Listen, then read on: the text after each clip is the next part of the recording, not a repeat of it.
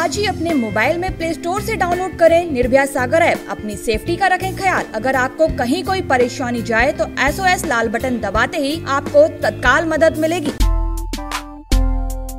अगर आप बीमार हो और इलाज कराने के लिए अस्पताल जा रहे हो, लेकिन वहाँ पर ये कह दिया जाए कि यहाँ पर मरीज़ ना आए, क्योंकि बेड फुल होने की वजह से आपका इलाज नहीं किया जा सकता है। इसके लिए हमें खेद है। तो फिर आप क्या करेंगे?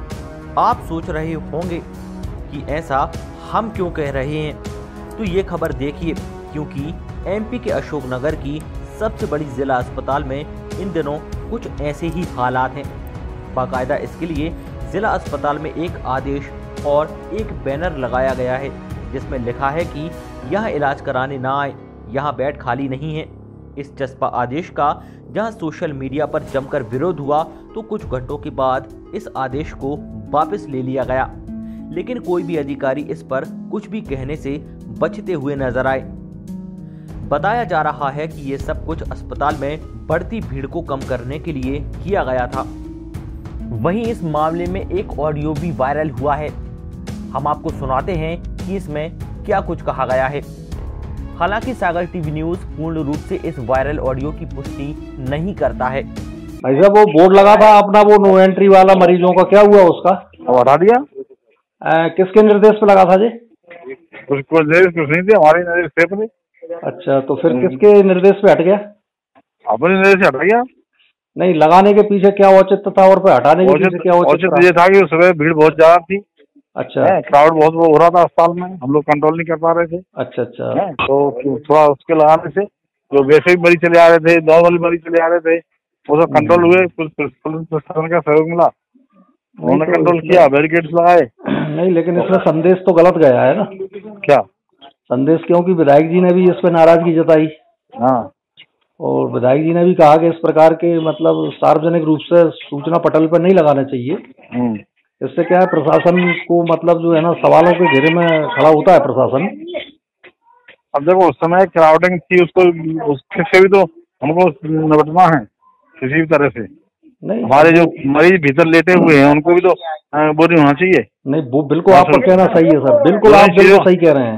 दोनों ही चीज़ों को कंट्रोल करते हुए किया हमने और और उस समय भी हाँ हाँ। उस समय जब हमने लिख के लगा था तब भी कोई मरीज़ हमने वापस नहीं किए हैं। नहीं इमरजेंसी मरीज़ से हमने भर्ती किए थे। लेकिन इसका क्या है जी मीडिया पे सोशल मीडिया पे वायरल हो गया जी। हाँ हाँ। और इससे क्या है बहुत ज़्यादा प्रशासन को ट्रोल किया जा रहा है लोगों के द्वारा। हम्म, तो इस विषय में क्या है कि एक संदेश ऐसा चला गया है कि अस्पताल प्रबंधन ने हाथ खड़े कर दिए बोले। नहीं नहीं हाथ खड़े कर दिए होते तो हम भर्ती मरीज़ कैसे करते भर्ती कर रहे हैं। बोर्ड बोर्ड से गया है ये संकेत। अब अपन कर रहे हैं वो तो वो चीज़ हो गई ना कि अपन भर्ती कर रहे हैं लेकिन अब वो ट्रोल हो गया वो सोशल मीडिया पे व्हाट्सएप फेसबुक इत्यादि जब पे चला गया हाँ, उसके लिए हम क्या कर सकते हैं? नहीं तो जो बोर्ड लगाने के पीछे मैं मनसा पूछ रहा था केवल जो बोर्ड लगाने यही थी उसमें क्राउडिंग बहुत थी। हम अंदर के मरीजों को मैनेज नहीं कर पा रहे थे। है जो आदमी आया एक अटेंडर एक मरीज़ के साथ चार चार पाँच अटेंडर ये देखो भाई सब ऑक्सीजन दे दो सब ऑक्सीजन दे दो। तो ये है? क्या दो घंटे के लिए लगाया गया था बोर्ड बस? हाँ बस दो तीन घंटे दो भीड़ कम होगी फिर हमने। हटा दिया। अब कब लगेगा अगला बोर्ड अब नहीं लगेगा काहे लगेगा?